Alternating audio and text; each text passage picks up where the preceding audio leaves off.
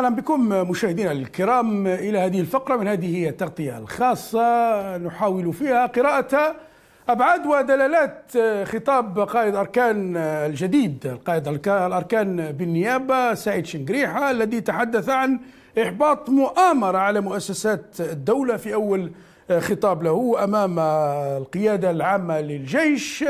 نتوقف عند خطابه نتوقف في هذه الاثنين في هذا الاثنين استعدادا لثلاثاء الخامس والأربعين ثلاثاء الطلبة والمواطنين الحراك الشعبي آه، مستمر.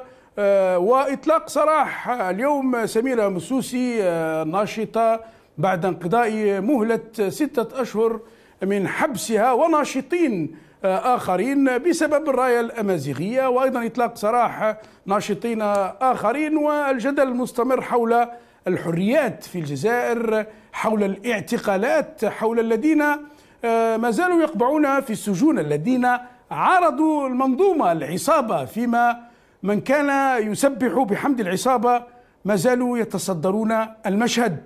من كان يقسم حتى بأن برنامج فخامة الرئيس بوتفليقة سيستمر هو الرئيس ويستدعي من الأرشيف كما يعلق الجزائريون على مواقع التواصل الاجتماعي أشخاصا آه، ليتحملوا كما قيل مسؤوليات آه، الوزير الأول المكلف آه، عبد العزيز جراد الذي يعين بوزبوجن الذي كان يرأس هيئة المفروض لمكافحة الفساد ليعينه مدير ديوانه وتبون يعين وزيرا للاتصال في حكومة سلال في حكومة بوتفليقة ناطقا رسميا آه، باسمه آه، محمد السعيد آه، ناطقا رسميا ووزيرا للاتصال مستشارا للاتصال ناطقا باسم الرئاسة عينه تبون. قبل أن نبدأ النقاش مع ضيوفنا نتابع جانبا من خطاب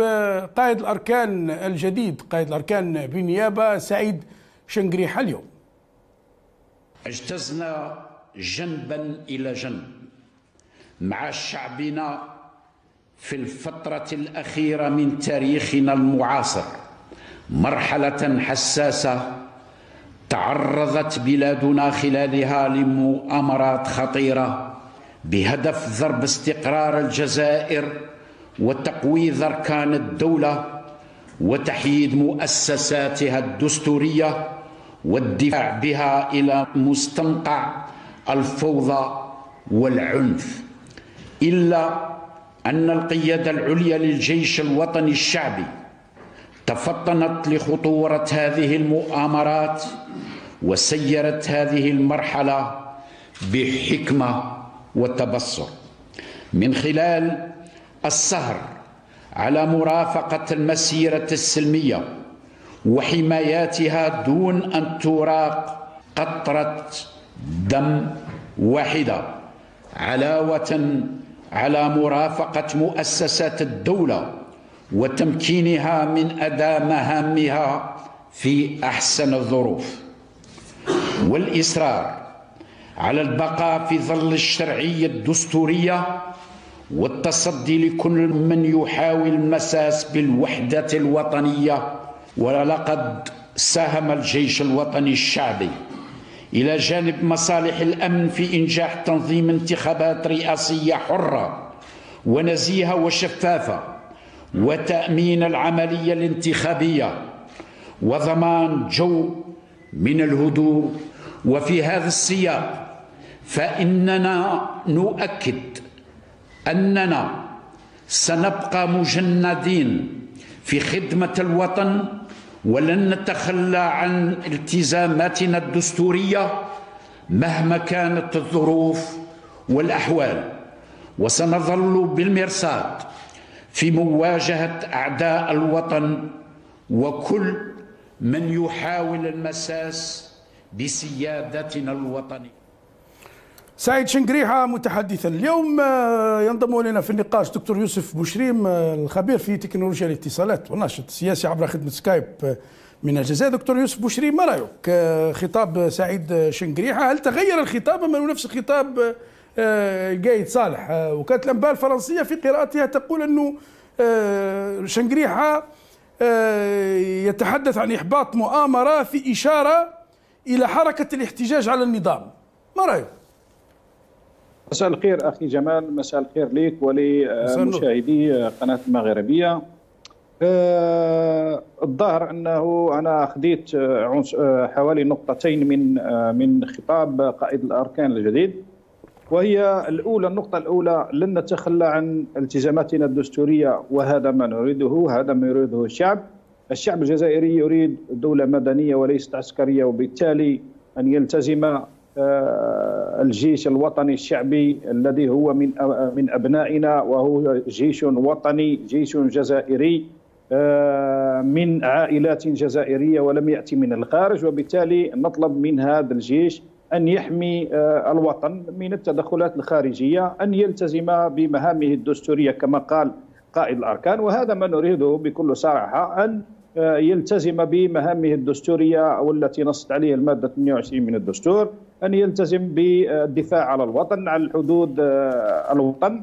أما بالنسبة للانتخابات صراحة أن نقول أن الانتخابات حرة ونزيهة وشفافة فلم نرى من النزاهة شيئا ولم نراها حرة ولم نراها نزيهة. وبالنسبة لنا آه، هذه الانتخابات كانت مجرد عملية آه، عملية لتمرير أو تعيين السيد تبون الذي كان آه، يحضر له مسبقا.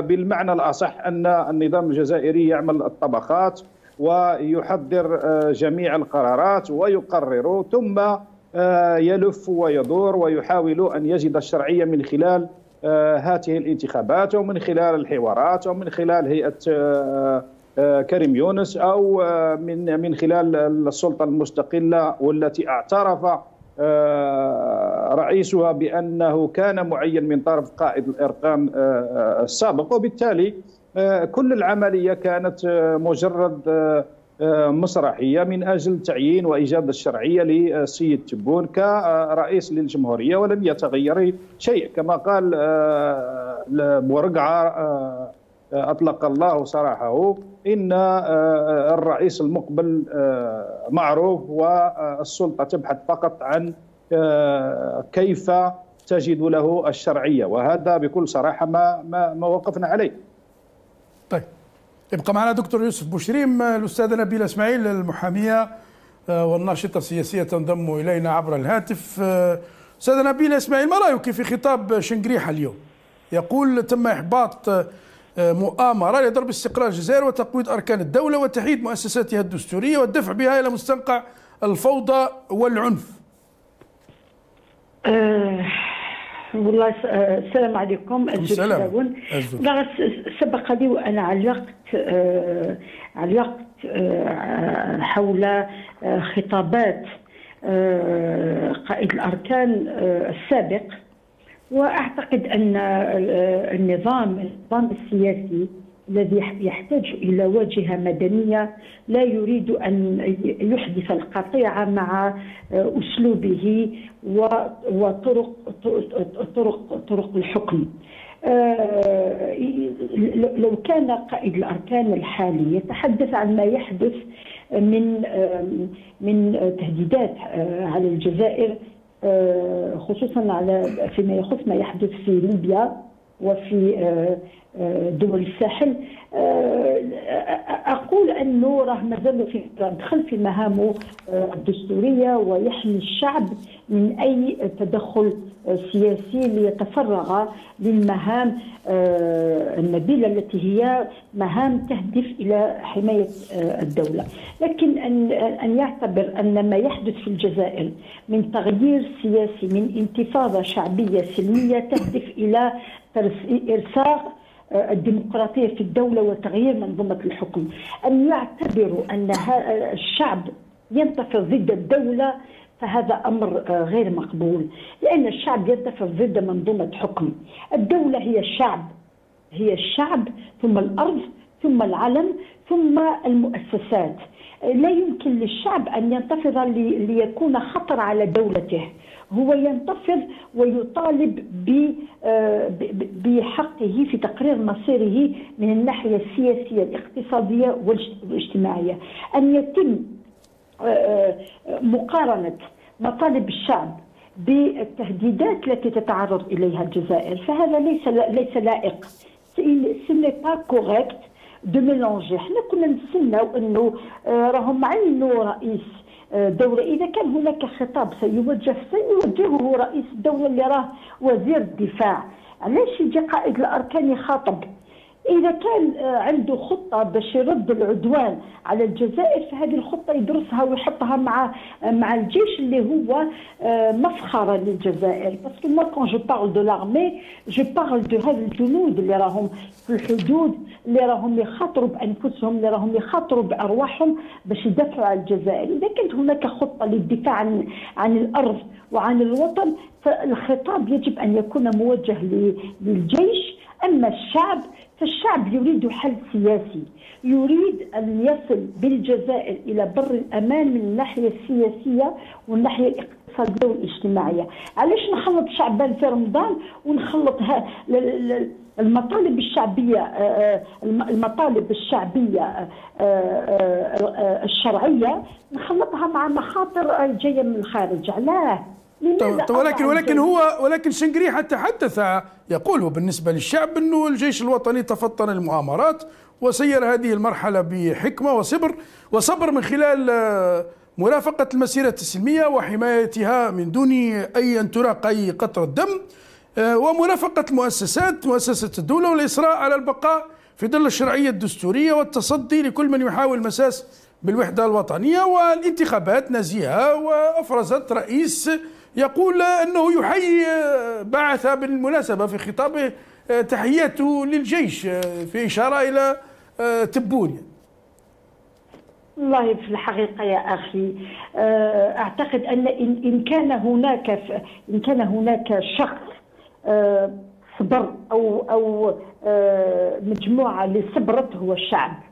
الشعب اللي صبر خلال عشر أشهر مسيرات سلمية وتعرض للمضايقات وللسجن وللاعتقال وللضرب وللإهانة وللشتائم ولكل كل آه، الأسماء الرديئة آه، سمي بها هذا الحراك وسمي بها الشعب من شرذمة إلى فئة مغرر بها إلى أشياء آه، يد خارجية. والله لا لا أعتقد لا أعتقد أن هناك عاقل يقول بأننا بأن كانت هناك مرافقة لمؤسسات الدولة وللدستور لقد توقف العمل بالدستور في 9 جويلية عندما انتهت المهمة أو الفترة التي منحها الدستور لبن آه، آه، صالح.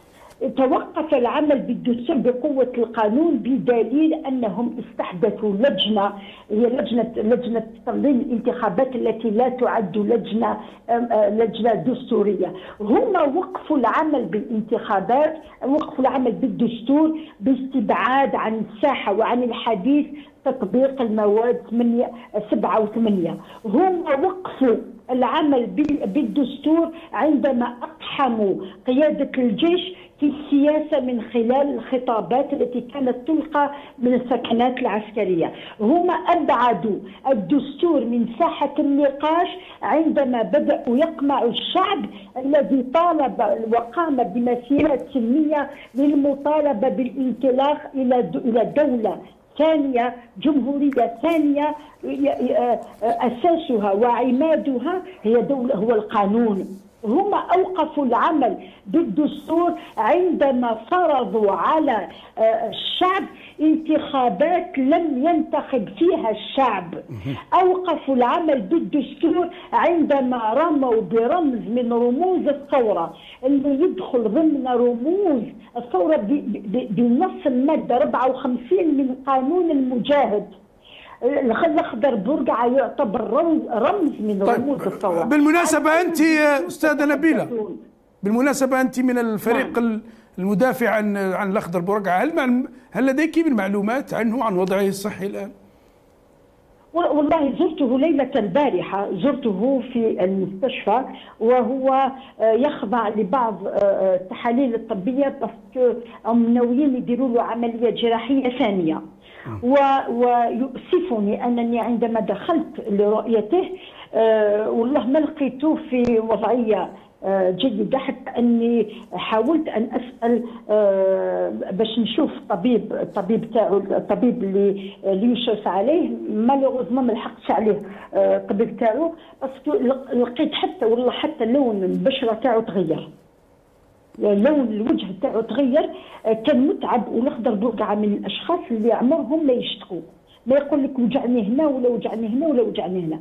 ولكن آه، كي حاولت نتحدث معاه عن ما يحدث تسألني عن الحراك عن آه، ذكرى اغتيال عبان رمضان. هل هناك آه، هل هناك تجاوب؟ هل هناك مازال لا موبيليزاسيون تاع الحراك؟ طمأنت قال لي عن تعيين تعيين هذا الوزير الأول وعطى بعض ولكن طرحت له سؤال قلت له على المعنويات تاعو والله قال لي شيء ليس ما باليش كيفاش نقولها. هل أغضبتني أو فاجأتني؟ قال لي آه تلقيت تلقيت آه اخطار بأنهم عاودوا زادوا رفضوا لي الإفراج المؤقت. أنا أنا أنا راني عضو في آه في لجنة الدفاع عن خضر بورقعة. ما ما تشاورناش وما على بالناش شكون حط هذا آه، آه، طلب الإفراج المؤقت ما على باليش شكون حطه. وهو تلقى تلقى الرفض عن آه، الإفراج المؤقت.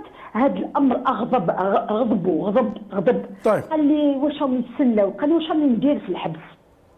قال لي يبعثوني للشارع ولا يخلوني نموت. واش راني ندير في الحبس؟ اذا آه، آه، انطلاقا من هذه المقولة آه، والله مرافقة الشعب؟ والله مرافقة مؤسسات الدولة؟ والله الحفاظ على سلامة الشعب وسلامة طيب. الدولة؟ الحفاظ على سلامة الدولة تم بفضل هذه السلمية وأمام كل الاستفزازات اللي راهي توقع خلال المسيرات الأخيرة. في عنابة في وهران آه، في آه، في برج برج بوريج. لماذا لا تبعث طيب. بلطجية باش يخسروا لي المسيرة وتجي تقول لي بلي هناك مسايرة للحراك، أين هي هذه المسايرة؟ اذا إذا تم تعيين نفس رجال بوتفليقة يعينهم آه تبون، أين هو هذا التغيير طيب. الذي تم الوعد به في خطاب آه في خطاب تعيين وترسيم تبون على رأس الدولة، أين لماذا لا يخاطبون الشعب بالحقيقة لماذا طيب. لا يكون لا يرتفع إلى آه، إلى إلى لماذا لا لا يلحقون الفعل بالكلمة أو الكلمة بالفعل؟ طيب ابقى, ابقى معنا سي أستاذة نبيلة لو سمحتي. دكتور يوسف بوشري معود إليك. أنت كنت تقول الانتخابات آه، بالنسبة لك انتخابات آه، غير شرعية بالنسبة لشنقريحة بالعكس يشكر الجهود التي بذلت لإجراء انتخابات بكل حرية. آه، وديمقراطية. واضح. الانتخابات لم تكن نزيهة ولم ولم تكن شفافة ولم تكن آه، حرة بكل صراحة. الشعب الجزائري كان رافض لهذه الانتخابات ونسبة المشاركة آه، خارج الوطن وصلت إلى حوالي 8% أو أقل. نسبة المشاركة في الجزائر ولو بعد التصوير وصلت آه، مش عارف 39% النسبة العامة. الشعب الجزائري لم ينتخب بصراحة. هناك من انتخبوا صحيح استعملوا آه، بكل صراحة كل الطرق من أجل تمرير هذه الانتخابات. نحن آه، كنا ضد هذه الانتخابات لسبب بسيط أن لا يمكننا أن نغير النظام بتغيير رئيس بتغيير الوجوه. الشعب الجزائري لما خرج يوم 22 فبراير طالب بتغيير النظام تغييرا جذريا. والتغيير الجذري للنظام لا يمكن أن نغيره بتغيير آه، الأشخاص. فاتي بمن شئت في في مكان بوتفليقه لن يتغير شيء. مشكلتنا سياسية ومطالبنا واضحة. طيب ولكن هي تقول دكتور نعم. دكتور بوشريم أستاذة نبيلة نعم. تقول نفس الأشخاص الذي كانوا مع بوتفليقة يعني آه الذي عينه بوتفليقة آخرهم بوزبوج الذي عينه بوتفليقة لمكافحة الفساد. وتعرف قصة مكافحة الفساد في الجزائر؟ عينه جراد مديرا لديوانه جراد الذي كان وزيرا أو كان مديرا للديوان في الرئاسة الذي آه، فيما فاجأ طبعا ما يسمى الباديسيين النوفمبريين بخطابه آه، الممجد حتى لخالد نزار ول رضا مالك وتجاني هدام وغيرهم هو وزير أول ومحمد السعيد المعروف باسم محمد السعيد وزير الاتصال في حكومة سلال وحكومة بوتفليقة ناطقا باسم الرئاسه وهذا دليل واضح أنهم لن يجدوا أي واحد حر يمشي في خطتهم ودليل على أنهم لن يخرجوا من من دائرتهم المغلقة لانها النظام معروف منذ نشأته أنه مغلق على نفسه ولا يقبل أي عنصر من خارجه وبالتالي لن يجدوا إلا من من الحاشية والحاشية هي من الناس التي اشتغلت مع بوتفليقة أو مع غيره سابقا. وبالتالي آه، هذا دليل واضح على أن النظام هذا متهالك وفي نهايته ولن يجد آه، أحرارا يتماشون معه خاصة ذوي الكفاءات. وبالتالي آه، واضح أن النظام هذا خلاص خلصت له كل الأوراق لأن كما قال عبد الحميد المهري سيأتي اليوم الذي سوف لن يجد أي واحد هذا النظام أي واحد يمشي معاه أي معارضات تبرر أفعاله وبالتالي بكل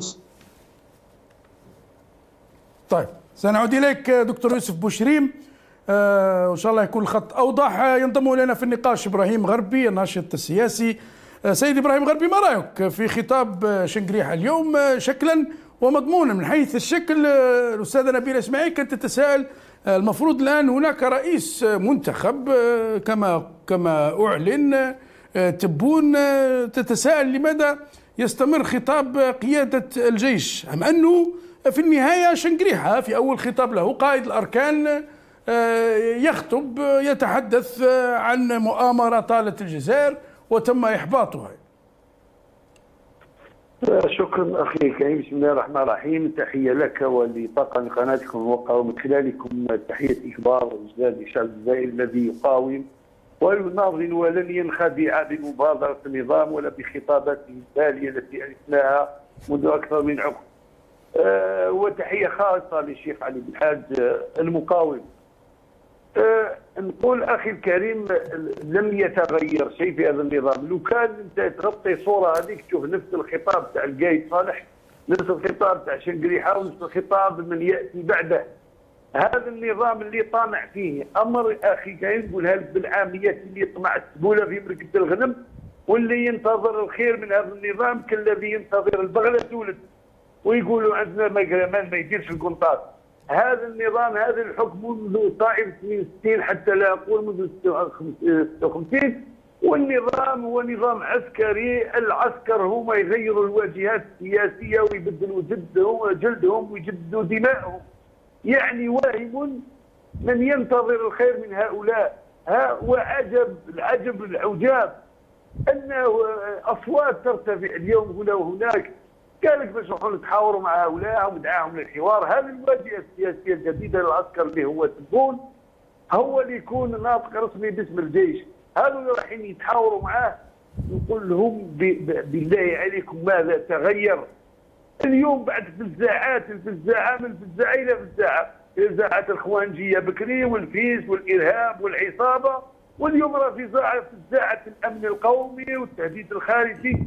كل هذا من أجل تخويف المواطنين وفرض سياسة الأمر الواقع. لن يهددنا أحد. لو كان يبقى الشعب سندا لجيشه لو كان يكون الشعب سند الجيش تاعو. ولن يستفزنا أحد. ما دام الحكم يكون نابع من الإرادة الشعبية الحرة والأمة السيدة. في الجبهة الداخلية إذا تماسكت هي كفيلة بردع كل من تسوي نفسه التعرض لأمننا وسيادتنا. لكن إذا أصر النظام على عدم الاستماع إلى شعبه فهو عرضة للابتزاز والمساومة وقد نصبح ويصبح وطننا أخي جمال وإن شاء الله ما نوصلش لهذه لا قدر الله مسرحا للصراع لصراع القوى الكبرى والمصالح تاعهم الدور على أرضنا وهذا ما نخشاه بما يجري في حدودنا الملتهبة شرقا وغربا. حنا نقولوا كنا آه، يعني نبقى نقول نتكلم بتجربه اسلاميه قال الذي كانت وتظل تظل تدافع دوما عن الشرعية السياسية وعن سيادة الشعب وحقه بممارسه مهامه بعيدا عن الوصايات والتضليل. وهذه هي محاولة استقطاب المفضي؟ أكيد إلى تزييف الحقائق وتشويه الواقع السياسي. إحنا نحرص كل الحرص على مصالح الشعب وكينونة الدولة واستمرارها.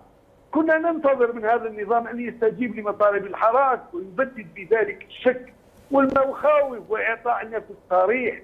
يعني للناس للرجال اللي قدموا مساعي جادة التي كانت قد تفضي إلى حل سياسي توافقي على الأقل تكون ثمرته انتخابات رئاسية ولا انتخابات تجنب اضمحلال المؤسسات وتحلل هذه الدولة. لكن النظام والعياذ بالله راكب رأسه وما زال إلى يوم النساء بالخطابات اللي نسمعوها وراه يمضي في غي ويبرهن للمرة ألف ويبرهن للذين للنائمين هذو. وهذا أصحاب الإرادة الضعيفة والهمم الميتة أنه سيبقى دائما وأبدا وفيا لجوهر نهجه اللي معروف بالإقصاء والتهميش والمراوغة وشراء الذمم وثقافة التيئيس وزرع الفرقة بين أبناء الشعب الواحد. هذا لا لشيء إلا من أجل تسيير الأزمات والتحكم فيها بدل ما يحلها ويقضي عليها. هذا الوضع اللي رانا فيه راح يدي البلاد إلى نفق أكثر ظلما رانا في نفق مظلم راح نولوا في نفق أكثر من ظلامية أكثر من هذا. والعياذ بالله. طيب ابقى معنا إبراهيم غربي. آه، لو سمحت آه، آه، تم اليوم أكملت سميرة مسوسي الشابة الناشطة حبسها لمدة ستة أشهر في سجن حراش وناشطين آخرين الذين حوكموا واتهموا حتى بتهديد الوحدة الوطنية بسبب رفع الراية الأمازيغية. نتابع جانب من خروج مسوسي من الحبس اليوم آه، ثم نعود للنقاش.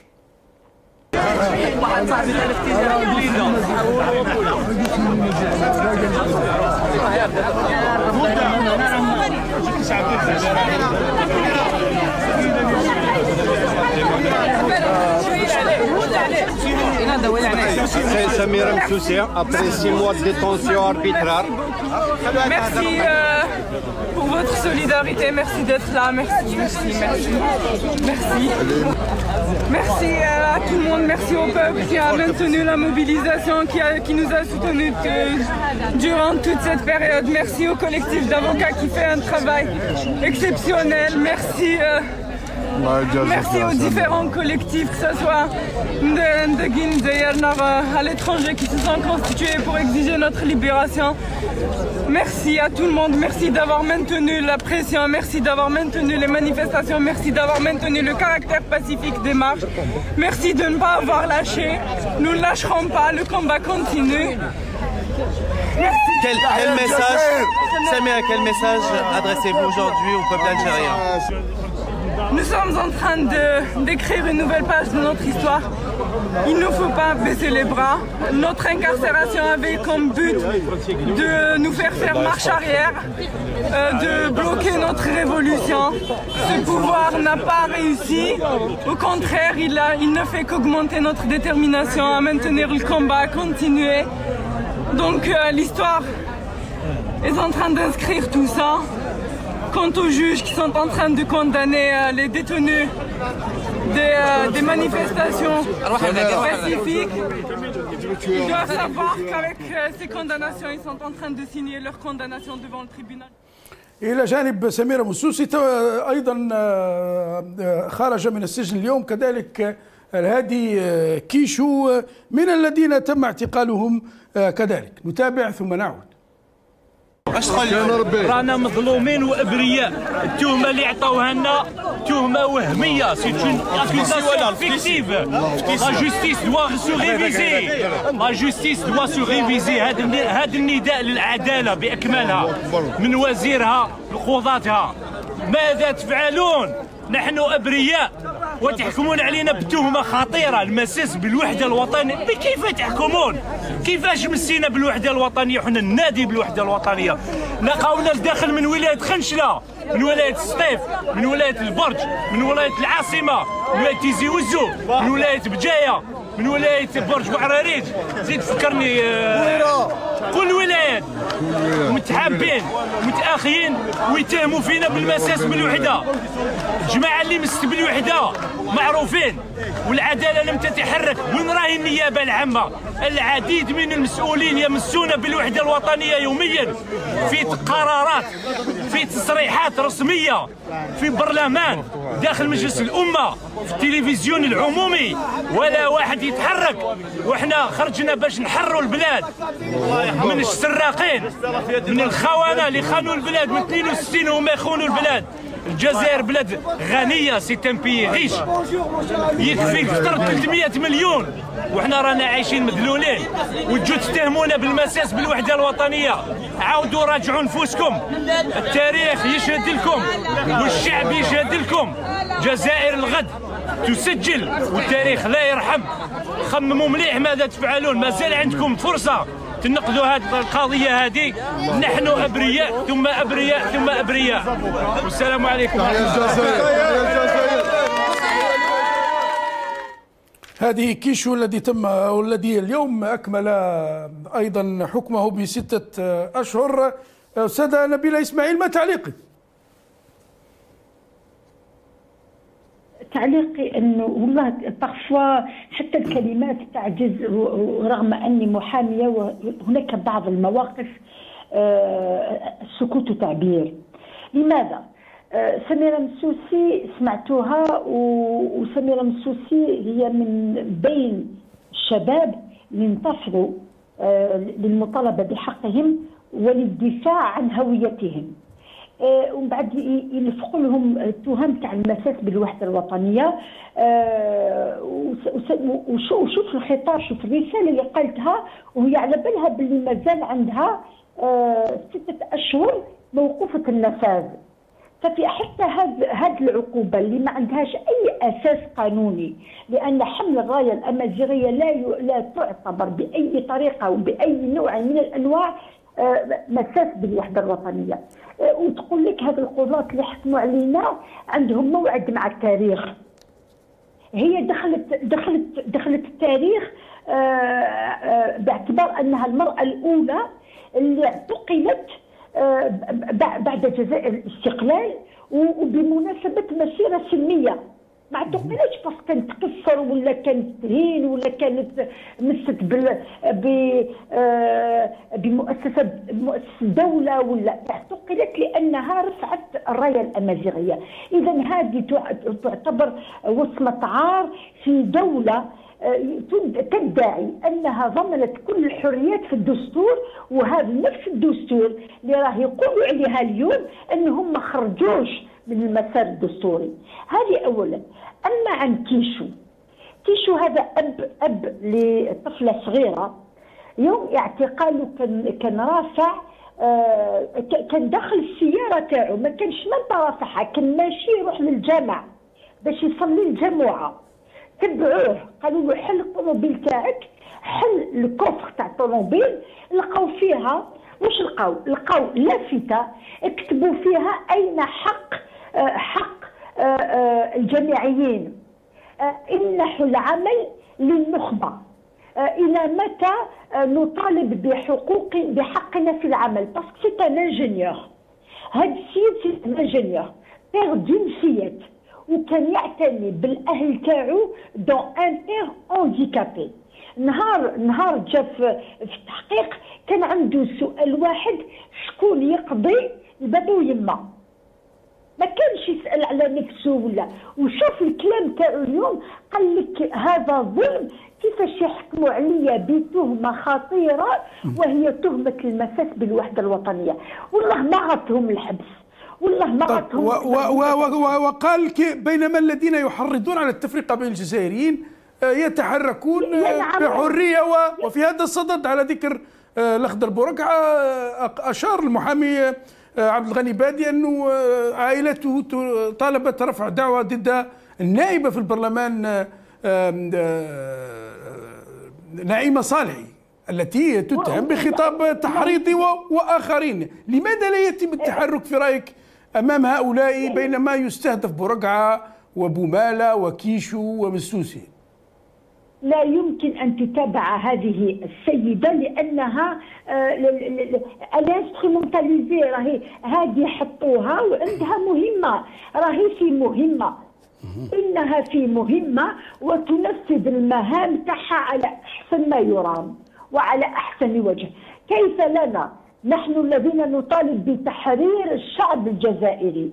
ان ننزل أن ننزل بهذه القيم وان وأن نحبط نحبط المستوى إلى أن أرد على هذه هذه الآلة هي آلة آلة آلة كراهية. لا يمكنني أن أعتبرها شخص جزائري حر يناضل من أجل الحريه الحرية. أنا نسألها فقط كيف تمكنت كيف أصبحت نائبة في من بومرداس وهي تقيم في طازة منذ أكثر من 20 سنة؟ كيف شكون دار لها la résidence وكيفاش دات مقعد بومرداس والناس بومرداس اللي نحترمهم ونقدرهم ونعزهم عمرهم ما عرفوها. أنا نفتح هذا القوس نعاود نغلقه لأن المقام المقام لا يسمح لي أن طيب. أتحدث عن هؤلاء الذباب الذين أعطيت لهم مهام تلطيخ سمعة الجزائريين الأحرار و و ومنحت لهم نوع من الحصانة حصانة من المتابعة حصانه طيب. برلمانية حصانه من المتابعة. ونرجع لتيشو ليقول بأن الذين يفرقون والذين يهددون الوحدة الوطنية راهم في البرلمان راهم في الوزارات راهم في المناصب العليا راهم راهم راهم ويروحوا ليه هو؟ يحرموه من الحرية تاعو. اللي ما راهش يبكي عليها كيشو ما بكاش على الحرية تاعو. كيشو بكى على نوع التهمة اللي اللي لصقوها له لأن طيب. المساس بالوحدة الوطنية. هو أمر جد خطير. طيب وهناك كذلك تهمة التي وجهت إلى برقعة ووجهت إلى شابة كذلك تقبع الآن في الحبس المؤقت في آه، آه، تلمسان. نور الهدى عقادي بتهمة الإضرار بمعنويات الجيش. لا إله إلا الله. لا إله إلا الله. هل الكلام عن عن أشخاص بذواتهم لأن فيما فيما يخص خطاب بورقعه إذا كان الأمر يتعلق بخطابه أو بكلمات التي أدلى بها في في في حصة الحوار فهو ما قصدش الجيش. هو يقول لك بأن الجيش الشعبي الوطني لا علاقة لي به. أنا راني نتحدث عن الأشخاص اللي راني يورطوا الجيش في العمل السياسي. هو راه يقول راني مسؤول وتحدث كشاهد كشاهد عن وقائع أراد أن يصحح التاريخ وأن يعيد الأشياء إلى نصابها. ويلقى روحه يلفقوا له تهمة مثل إحباط معنويات الجيش كيف؟ وهو قائد. قائد الناحية الناحية العسكرية آه، آه، الخامسة آه، الرابعة. كيفاش يجي يقول باللي هذا اللي حرر البلاد يتهجم على جيش هذه البلاد؟ بالعكس بالعكس. طيب. و, و أعتقد أعتقد أنه لهذا الشخص لهذا المجاهد لهذا المجد لهذا البطل الحق في أن يكون له تكون له محاكمة. وأثناء هذه المحاكمة سيشهد التاريخ ثم الشعب أنه لم يهدف اطلاقا طيب. إلى المساس بمعنويات طيب. الجيش اللي قدسوا وبالعكس بالعكس هو خاطب فئة معينة ويريد أن تكون له فرصة المحاكمة ليوضح الأمر طيب. خصوصا وأنه أثناء التحقيق حتى الكلام اللي كان يقوله الكلام تاعو اللي كان يقولوا تم تحويله تم تحويله وداروا له عبارات ولا تصريحات هو قال إني ما دريتش بها. طيب طيب ابقي معنا أستاذ استاذه نبيله لو سمحتي عودي لك دكتور يوسف بوشريم. طبعا أنت تعرف أيضا الأخضر برقعة وتعرف فضي بومالة وعدد آخرين من من المعتقلين الذين سيقضون 2019 في حبس. هم الذين كانوا ضد منظومة آه، فاسدة باعتراف بعصابة كانت تحكم بلد. هم في في الحبس بينما الذين كانوا يسبحون بحمد هذه العصابة ويخدمون هذه العصابة ويقسمون باستمرار أو ببرنامج فخامة رمز من رموز العصابة بوتفليقة يتصدرون المشهد ويصبحون رؤساء ووزراء. بكل صراحة مؤسف جدا مؤسف جدا خاصة ما سمعته من من طرف الأستاذ الحالة الصحية التي يوجد عليها عمي الخضر بورقعة شفاه الله وأطلق سراحه, سراحه. مؤسف جدا أن نجد مفكرين مثل فضيل بومالة موجود في السجن. مؤسف جدا أن يبقى كريم طابو سياسي محنك والمشكلة الأساسية للجزائر مشكلة سياسية أن يبقى في السجن مؤسف جدا أن يبقى سمير بالعربي في السجن. مؤسف مؤسف حال الجزائر بكل صراحة. إحنا سمعنا سميرة وتصريحها جميل جدا لما قالت إنهم لن يزيدون إلا عزيمة واصرارا. يجب أن يعرف هذا هذا النظام بأن الشعب الجزائري لن يتراجع ولا ولا يفكر في التراجع ابدا. فما على السلطة إلا الاستجابة لمطالب الشعب الشرعية التي طلبها منذ 22 فبراير وهي دولة الحق والقانون الدولة المدنية التي يحلم بها دولة الكفاءات تكافؤ الفرص الدول تبنى بالعلم يا ناس وليس بهذه التفاهات. كفانا مضيعة للوقت. كيف نريد أن نبني دولة ونحن في عصر التكنولوجيا؟ وما زلنا نتكلم عن الأشياء التي التي الماضية. ما زالت عقلية نتاع الستينات بكل صراحة. عيب عيب كبير ان أن يكون علمائنا في السجون ونحن داخلين في 2020 2020 حيث أعلنت المنظمة العالمية للتجارة الإلكترونية أن مداخيل التجارة الإلكترونية ستتعدى 4 تريليون. دولار في في في السنة المقبلة والجزائر لا تملك منها شيئا وليس لها نصيب منها شيء.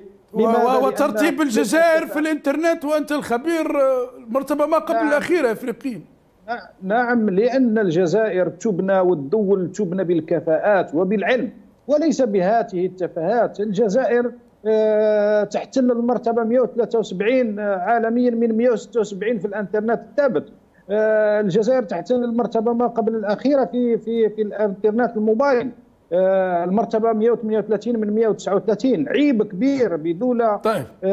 بحجم الجزائر تحتل المرتبة الأخيرة طيب ابقى معنا دكتور يوسف لو سمحت إبراهيم غربي يعود إليك. إلى جانب طبعا المعتقلين بورقعة كريم طابو وأبو مالة وسمير بالعربي وآخرين. يعني الحديث عن أكثر من 100 شخص معظمهم من مناهضي النظام تم توجيه لهم التهمه تهمة المساس بالوحدة الترابية. علي بالحاج حر ولكنه في سجن كبير ممنوع من صلاة الجمعات آخر اعتقال هذه الجمعة. وحتى بالتعنيف في مقابل هناك من يرى بأن الجزائر يجب أن تعطى فرصة لتبون وأن الأوضاع في حاجة إلى تحسين فقط وليس إلى تغيير شامل يعني. أخي جمال أولا نفرح لخروج هؤلاء السجن وأنا السجين الذي قضيت فيه سنوات إطلاق سراح هؤلاء في الحقيقة ماشي مطلب. بل هذا أمر من مخلفات الأزمة. ما كانش عندنا حنايا مساجين قبل 22 يعني إذا بغاو الخير هذه من مخلفات الأزمة اللي داروها هما. وتقول لي نعطوا فرصة لقبوني أخي أنا نقول لك ما نعطوش فرصة للشعب. هذا النظام إحنا من 62 إحنا نعطوه في الفرص. طيب ربما استسمحك أستاذ إبراهيم وتستكمل في الفكرة. نسمع من من يطرح هذا الرأي؟ وسأعود إليك. واسمع معنا لو تكرمت ما يقوله مقري الذي يقول أنه يجب إعطاء فرصة لتبون. نستمع إلى ما قاله مقري. وأعود إليك أستاذ إبراهيم.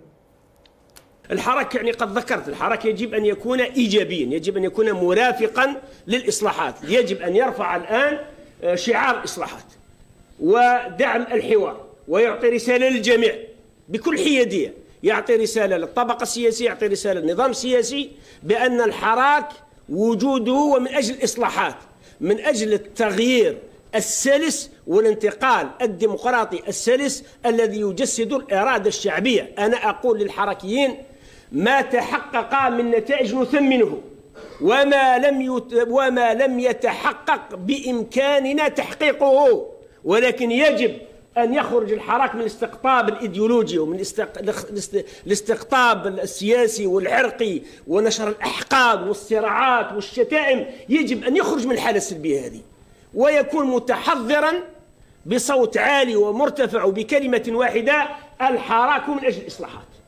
الحراك من أجل الانتقال الديمقراطي السلس الحراك من أجل دعم حوار حضاري جاد ومسؤول يساعد على الانتقال الديمقراطي. إذا الحراك استمر بهذا التحضر واستمر بهذه الإيجابية واستمر بهذه القوة واستمر بهذا بهذا الأسلوب الحضاري فسيكون ضاغطا علينا نحن كطبقة سياسية وضاغطا كذلك على النظام السياسي.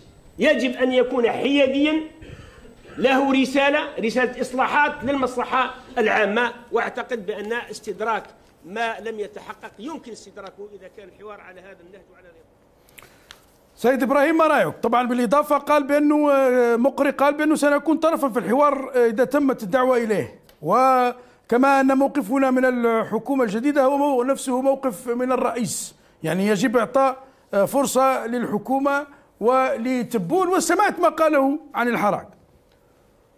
شوف بغيت نقول له شو نفهم لك راه يسمعنا نقولوا بالحوار هذا مبدأ. لطالما تمسكنا به نحن في الجبهة الإسلامية قال وهذا ما عرف عنا في أحلك الظروف التي مرينا بها ونحن ندافع عن وجودنا ونصارع سياسه العزمية والاستئصال. عندما ندعى إلى الحوار لا نضع شروطا معليش ولكن عندما نذهب إلى حوار نقدم وجهة نظرنا. اليوم الجزائريين بحاجه إلى نشاط سياسي حقيقي أساسه النضال من أجل تحقيق طموحات هذا الشعب الذي انتظر طويلا وعانى كثيرا وعانى وبكى و من الديمواغوجيه وسياسه تبادل الأدوار اللي راه يدير فيها هذا السيد والمحاصصة بعيدا عن شرعيته هو. إحنا رانا نقولوا باللي آه، آه، نتعاملوا لا نتعامل بالندية وهي ونحن نعرف وعاءنا الشعبي جيدا. الشعب قال كلمته ووضع الخارطه السياسية باختياراتها الأصيلة ولا نظن بأن الشعب قد غير تلك المعطيات إلى حد الآن. حتى يثبت العكس يعني الشعب هو يثبتها بارادته الحرة ونحن مع الشعب أينما ولى وجهه.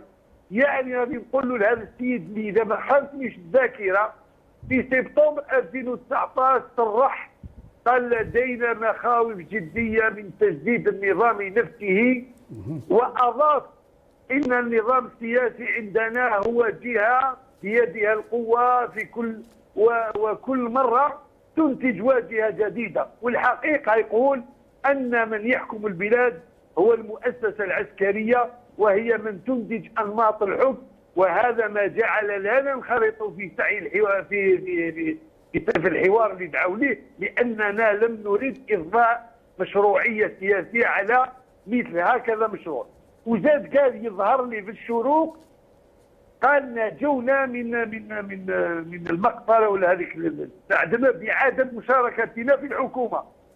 وقال أيضا وهو يذكر الحراك آه واهم من يعتقد بأن الحراك مسير من طرف العلمانيين وهو قوي بشعبيته المتكونة من جميع أطياف المجتمع. نقولوا له اليوم كي أنت في الحقيقة إحنا كنا إحنا إحنا في الشارع والشعب بصفة عامة مخلوع من من حماس. هذيك كانت مع المعارضة ولكن هي موقعها الطبيعي مع مع النظام. ها هي هي اليوم تعود إلى أصلها. هذا واش تغير باش؟ هذا راح للحوار. ويطالب بالحراك بقبول بالحوار وهذا الحراك اللي عنده 11 شهر وهو ماد يده ممدودة لهذا النظام ويقول له يا أخي الكريم يا نظام ما عليك إلا صلاح المساجد وافتتاح المجال السياسي والمجال الإعلامي ويروحوا الحوار ما تقضي فيه حتى واحد ونخرج البلاد من هذا الورطة. طيب للأسف كان المفروض يكون معنا ناصر حمدادوش القيادي في حركة آه، حمس ليرد على كلامك ولكن ربما سأخذ مكان حمس. قد يقول يستمع إليك سيد إبراهيم يقول لك أنت كنت رئيس بلدية انتخبت في زمن الفيس قيادي في الفيس ولكن حمس على الأقل لم تشارك في الانتخابات. هناك قياديون سابقون في الفيس اصبحوا يفتخرون في الفيسبوك بأصبعهم بالحبر أنهم انتخبوا ويرون مقاربة أخرى أنه يجب الحوار ويشيدون بالقيادة الحكيمة للجيش ويبكون حتى قايد صالح وأن الحوار هو الحل وأنه إعطاء فرصة للحكم الجديد. ما ردوا؟ يا أخي جمال هذا كفانا الله شر هؤلاء. هذو كانوا هما هما مأساة الجبهة الإسلامية اليسار وهما كانوا المايون فابل تاع الجبهة والحمد لله اللي ربي ظهرهم للشعب وتهنينا منهم إلى الأبد. فهؤلاء من طينة هؤلاء. يعني هذو لو كان تروح في أصلهم كلهم تربوا في هذه الإخوانجية هذو وتربوا على هذا هذا التملق وتربوا على على المحافظه وتربوا على المصالح ونعرفوهم. هم أصدقائنا ودرسوا معنا في الجامعات ونعرفوهم. اذا هذه المسألة تحل. هو لو كان ما شافش مصلحة شاف مصلحة أنه يبقى مع الحراك كان باقي مع الحراك ولكن بطريقة محتشمة وما نمشوا حتى واحد منهم في الحراك وما لا يملكون على كل حال المناضلين باش يجوا للحراك ونتحداهم يجوا يقولوا ها مناضلين راهم في الحراك. هؤلاء داروا داروا واحد يعني هذاك تاكتيك تاكتيكية قالت له اليوم عندما دعاهم هذا النظام أنا أنا نحاول نسألهم ماذا تغير؟ في سبتمبر تصرح تقول هذا النظام يجدد نفسه. ها هو النظام يجدد نفسه بنفسه ويدعاك للحوار وسيذهب مهرولا. وهذا الحوار ما هو إلا يشاورهم في الحصة اللي يعطي لهم يعني الكوطة اللي راح يدوها ولا المصالح ولا الامتيازات ليس إلا وراهن نقولها والشعب راه يسمعها.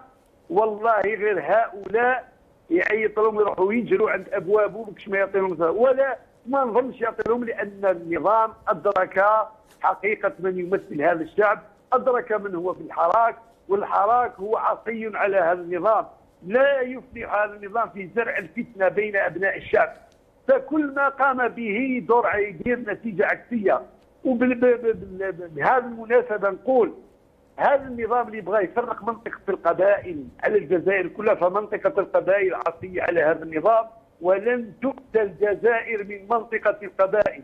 وستبقى قلعة بإذن الله طيب. تتحصن فيها القيم والأخلاق. طيب على ذكر آه، والبعد ماذا عن البعد الإيديولوجي؟ طبعا هل بدا البعض أنهم مصدومين من تعيين جراد واكتشاف في في حسابه على تويتر انه الرجل آه، يعتبر رضا مالك جمهوري كبير وخالد نزار ورضا مالك آه، مدرسة والتجاني هدام من نفس الخطاب الذي من نفس التيار الذي كان يقول لا ننتخب مكره في القبائل بكل صراحة يعني للأسف هذا خطاب البعض آه، وننتخب مكره في العلمانيين وضد الجانفيين والزواف ضد الانقلابيين والقيادة الباديسية النوفمبرية ليست قيادة كبرنات فرنسا التي انقلبت في التسعينات ما رأيك؟ يا رجل هذا هذا نظام البوتفليقي بيس يعني العصابة المتغلبة هي اللي قائمة وهي بوتفليقة بيس ولا سميها آه، النظام يجدد نفسه منذ 60 ونقول للعبيد هذو إخواني اللي كنا يعني نحترمهم ولو كالعبيد هم الزوار. طيب خلينا خلينا ما, ما لا نقع لكي لا نقع في نفس خطابهم يعني نترفع في الخطاب. رجاء أخي إبراهيم. ولكن أخي جمال عندما واحد ولا يشتم خاوتي يقول لك أنتم مبردعين من طرف العلمانيين ها هو الزوافي وها هو العلماني يتربع على عرش الحكومة وانت ما كاش اللي ينظر لك والله لن شوف ما يديروا لهم حتى نكتبها بالعامي ما يديروا حتى جرام قيمة. لأن يرى أنهم عبيد مبتدعاهم يجوا يجروا لو كان يكونوا رجال يعاودوا يولوا للحراك ويقووا الحراك والحراك هو الضامن لهذا الشعب طيب. هو هو هي البوصلة التي تبقي البلاد في الاتجاه الصحيح وإلا عاد يولي نظام أكثر شراسه من اللي كان ونظام يستعبد هؤلاء أكثر مما كانوا طيب. عليه السابق إبراهيم غربي كنت معنا عبر الهاتف من آه، آه، الجزائر. طبعا وضع بين قوسين التعبير آه، الذي استعملته. يعني نرحب بكل الاراء ونترفع عن عن ربما مثل هذه التعابير من الجهتين من هنا ومن هناك. عز الدين تومي ناشط سياسي ينضم إلى عز الدين تومي كيف يبدو لك المشهد؟ اليوم خطاب أول خطاب لشنقريحه يتحدث عن إحباط مؤامرة إطلاق سراح مسوسي آه، وأيضا ناشطين آخرين هادي آه، كيشو آه، في مقابل استمرار حبس كريم طابو الذي تعرفه والذي رفض طلب إطلاق أو الافراج المؤقت عنه. مساء الخير. أحييك أخي جمال وأحيي ضيوفك الكرام وأحيي كل متتبعي قناة المغاربية وأشكركم على هذه الاستضافة.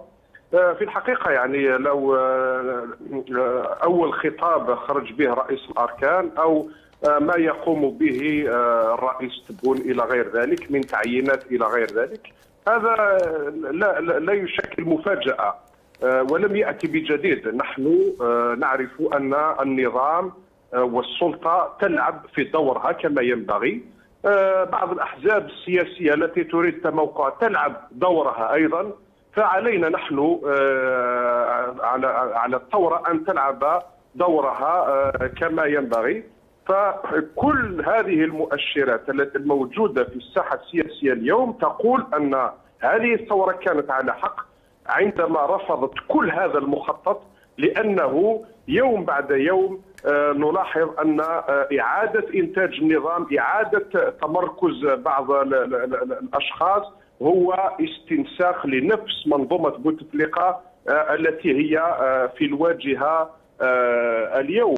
فكثر الحديث على ما يسمى بالحوار أو أنا لم أسمع تبون اولا ينادي إلى أي حوار لم يستعمل هذه الكلمة. هو يقول أنا أمد إيدي إلى الحراك. يا أخي الحراك مد إيده منذ 22 فبراير مطالب الحراك باينة واضحة وضوح الشمس لا لا لا, لا يحتاج إلى ممثلين أن يتشاور أو يتحاور آه، معك. عندما عندما ملايين الجزائريين تطالب بالتغيير وعندما ملايين الجزائريين يرفضون المهزله الانتخابيه عندما ملايين الجزائريين يخرجون يوم 13 ديسمبر يقولون نحن لم ننتخب فيخرج لنا رئيس غير شرعي بدون شرعية شعبية ويريد أن يعطي صورة أنه آه، سوف يكون جديد وبعض الأحزاب آه، كالجبهه جبهة التحرير الوطني والتجمع الوطني الديمقراطي لن تكون في خارطة سياسية،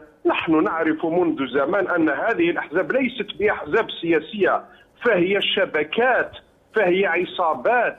يستعملها النظام ف آه، آه، يعني آه، بغض النظر على التسمية كحزب سياسي أو شعار من من من من, السطح فقط. ولكن في الحقيقة ليس لها لا بعد في المجتمع لا بعد سياسي لا إلى غير ذلك فهذا الشبكات. يستعملها النظام كشبكات ثم يطلق عليها التسمية فهذه التفاهات التي يقومون بها وتعيين يعني بعض الوجوه كأنها وجوه جديدة. ولو تنظر يعني في في حصيلة حياتهم تجد أنهم في النظام منذ زمان بعيد وهما في نفس النظام وفي نفس آه، آه، المنظومة.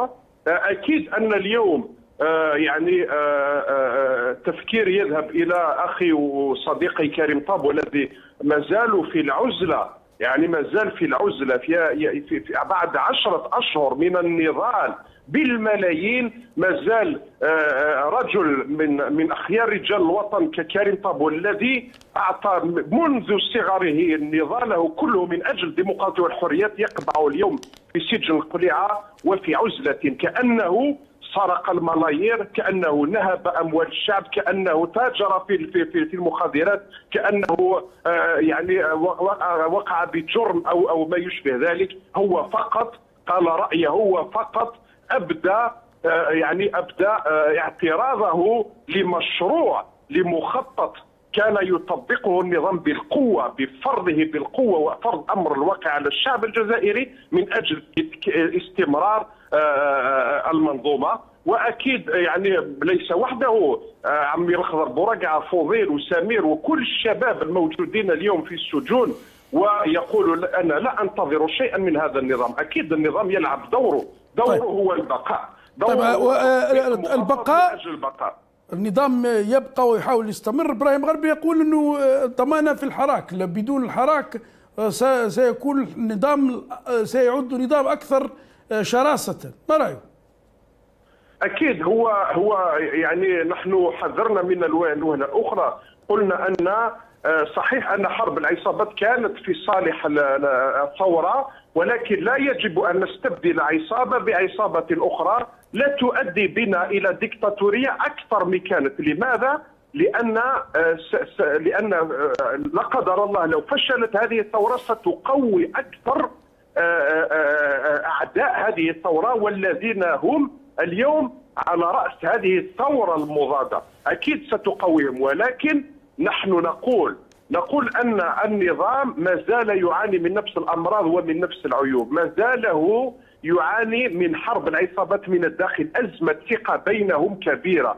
ما زال يعاني من الشيخوخة السياسية والجسدية والعقلية والمنطقية إلى غير ذلك. ما زال هو يعاني من عدم الشرعية. ليست له شرعية. فنظام بدون شرعية سلطة بدون شرعية شعبية لا تستطيع أن تذهب بعيدا مهما حصل. أما هذه الأحزاب التي اليوم تقول أنها آه، متفتحه وأنها إلا الذي يريد ان أن يبيع ذمته أن يبيع مبادئه فهو حر في ذلك.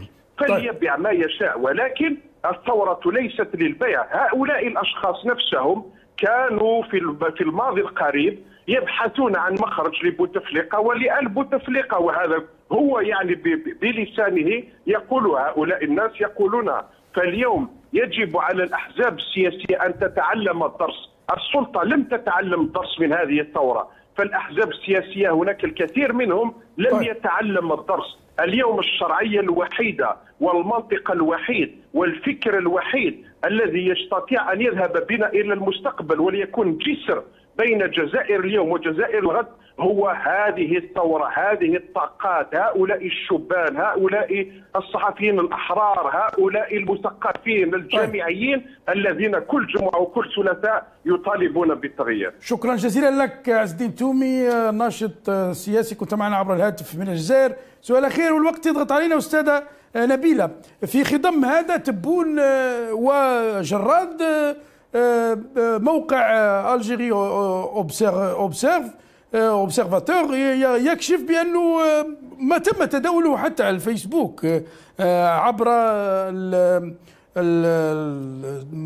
عناوين المؤسسات الجزائريه والمتوفره على موقعها يكشف بانه انه ابن لابني جراد هشام و جراد طارق وتبون خالد الموجود في السجن مربوط بقضية البوشي هم شركاء في شركة آه، اتصالات boîte de télécommunication de communication بالأحرى. ما رأيك؟ ما دلالات هذا ان يتم ظهور هذا في يتزامن مع إعلان تبون تكليف جراد بتشكيل الحكومة.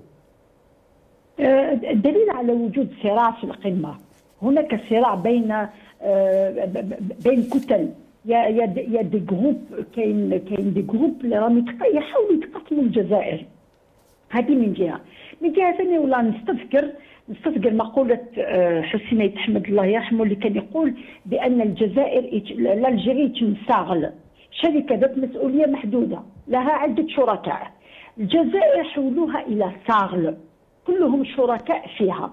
وكلهم حسب النصيب اللي دخل به كشريك. سمعت في في أه، مقطع من من مداخلة ولا ديسكور تاع تاع مقري واستذكرني كذلك بمقولة لحسين أيت احمد اللي هو مدرسه مدرسة في الأخلاق ومدرسة في السياسة ومدرسة في في في النظرة السياسية في التحليل السياسي.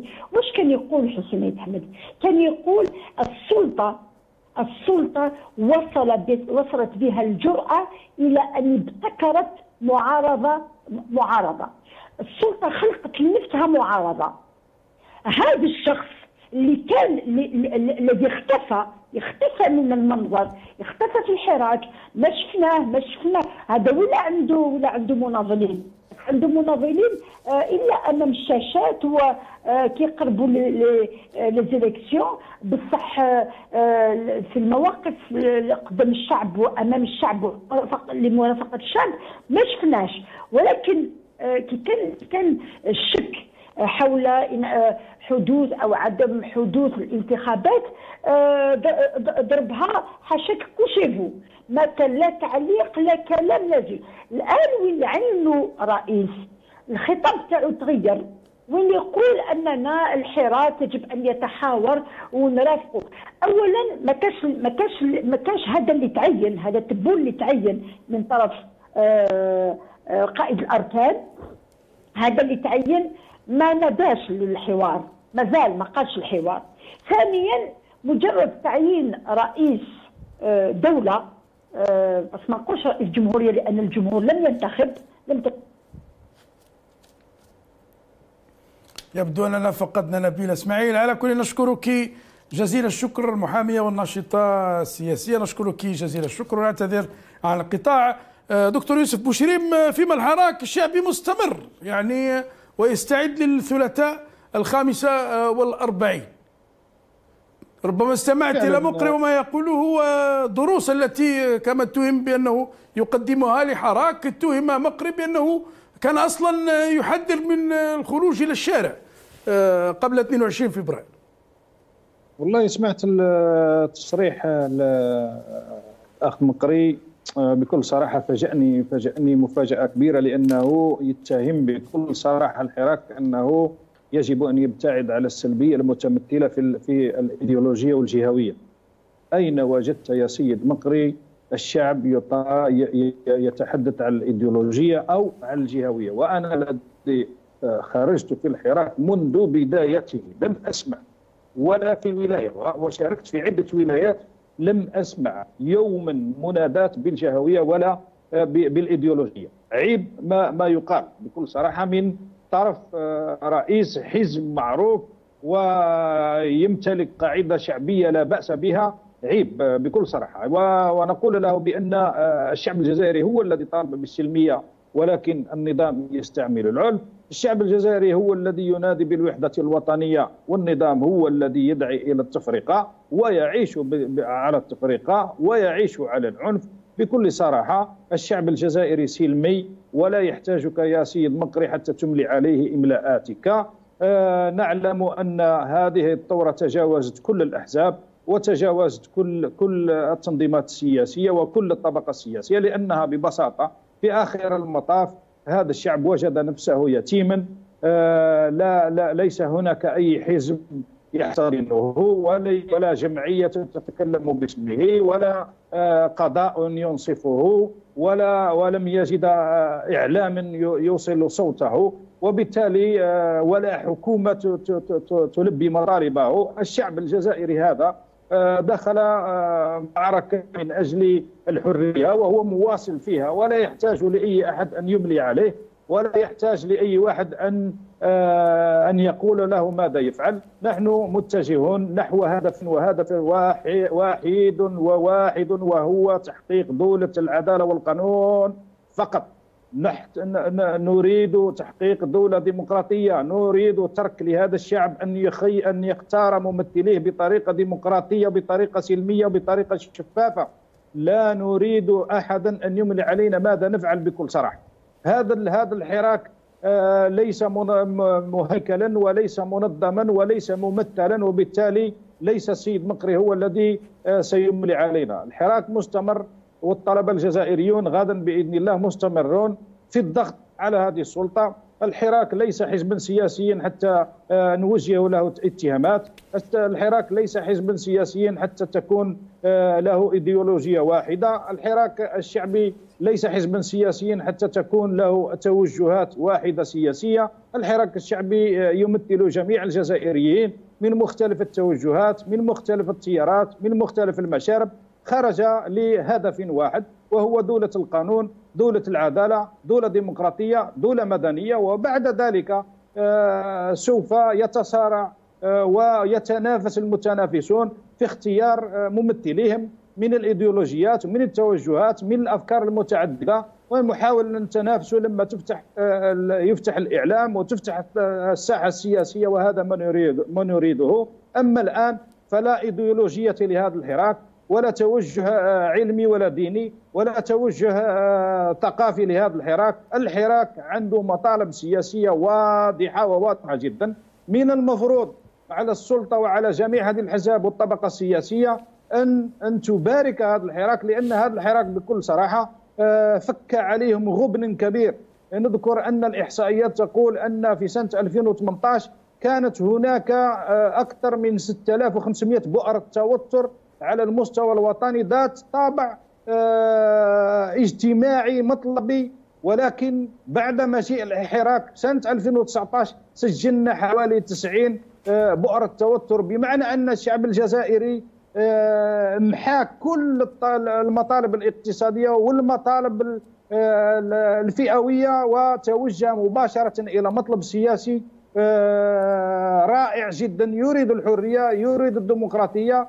لم نرى أي بؤره توتر تطالب بالمطالب الاقتصادية والاجتماعية وهذا شيء رائع يجب على السلطة أن تشكر الحراك عليه بكل صراحة. لا يمكن لأي سلطة في العالم ولا لأي دولة أن تشتغل وتطور الاقتصاد الوطني بعيدا عن المشاكل والنعرات والمطالب وبؤر التوتر كما زرعها الشعب الجزائري ومحى كل بؤر التوتر وركز فقط على المطالب السياسية في كل جمعه وفي كل ثلاثاء بطريقة سلمية بطريقة حضارية.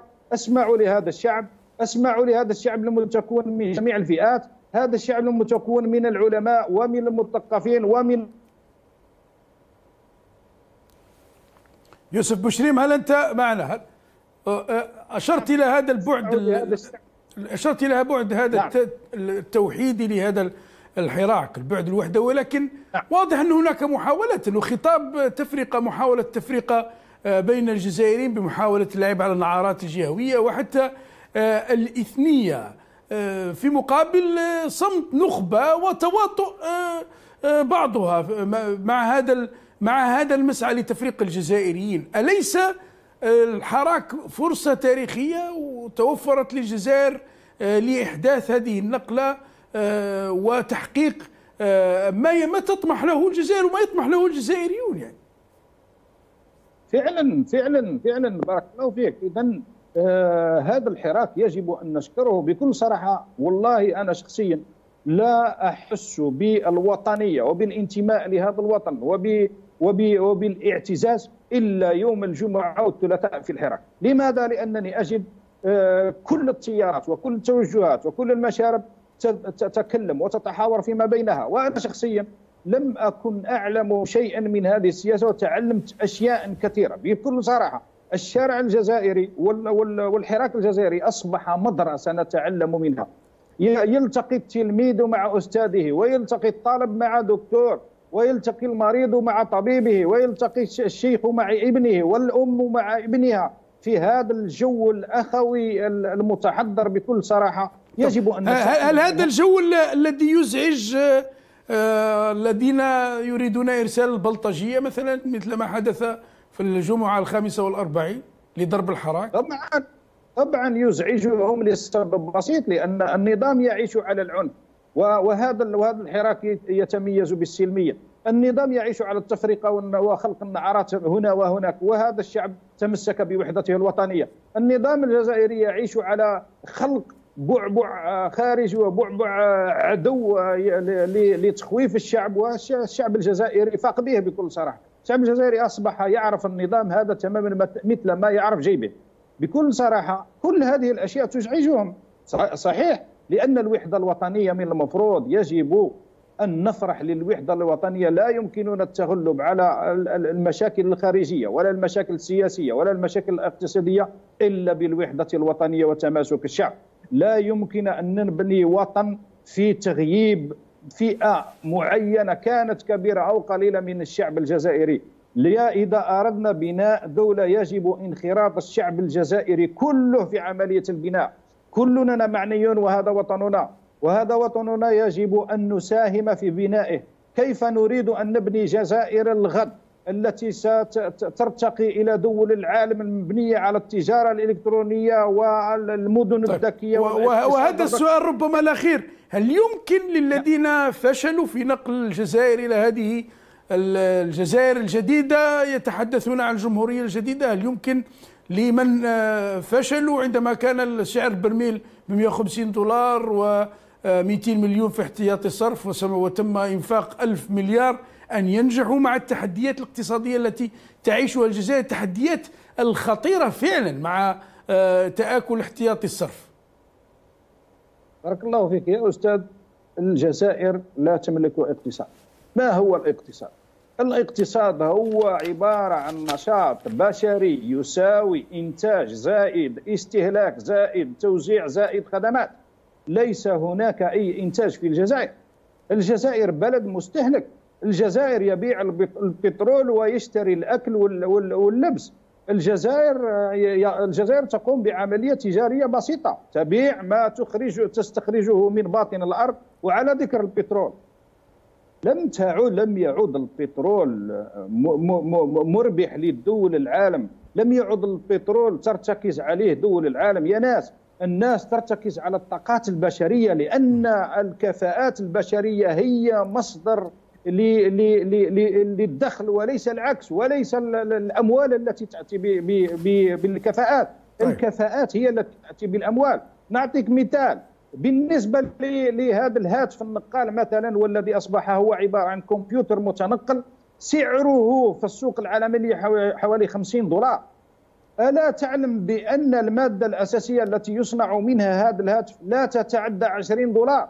والباقي حوالي 480 دولار عبارة عن ذكاء بشري واختراع بشري كي هذا هذا الهاتف الذي يساوي 500 دولار هو ما يعادل 10 برميل بترول للبترول الجزائري الذي طيب. نستخرجه من باطن الأرض ونستعمل كفاءات أجنبية وخبرات أجنبية وندفع عليه بالمال طيب ويبقى ويبقى أستاذ يوسف بلغة الأرقام برميل البترول أرى برميل بترول أرخص من برميل كوكاكولا وحتى أبو علام آه، حمود بلغة الأرقام يعني. شكرا جزيلا لك آه، على كل دكتور يوسف آه، بوشريم الخبير في تكنولوجيا الاتصالات والناشط السياسي. الشكر موصول لكم مشاهدينا الكرام على حسن المتابعة مني ومن كل الفريق أجمل التحايا. أذكر أنه ناصر حمددوش القيادي في حركة مجتمع السلم البرلماني في حركة مجتمع السلم اتفق أن يشارك معنا ولكن للأسف الزملاء حاولوا الاتصال به كم من مرة ولم يفلحوا في الوصول إليه. حق الرد مكفول طبعا آه، لحمص لحمددوش لأي شخص ذكر اسمه آه، في النقاش آه، مني ومن كل الفريق أجمل التحايا. إلى اللقاء.